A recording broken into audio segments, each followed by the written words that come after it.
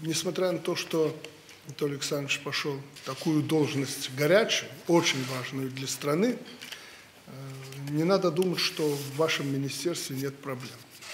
Министерство очень серьезное, большое и разноплановое. Там все виды транспорта, начиная от воздушного и заканчивая водным. Поэтому очень много проблем, которые надо решать. И вам надлежит все эти проблемы снять. У нас два года будут непростые, и поскольку мы страна транзитная, от вас многое зависит.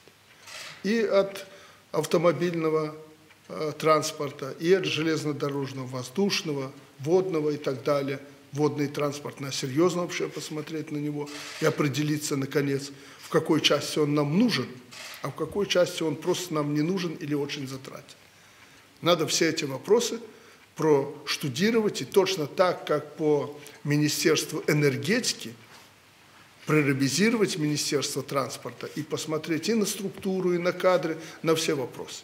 Но вы будете во главе этой работы, как министр, вам возглавлять это министерство, вам работать с этими людьми и решать те задачи, которые сегодня надо решать.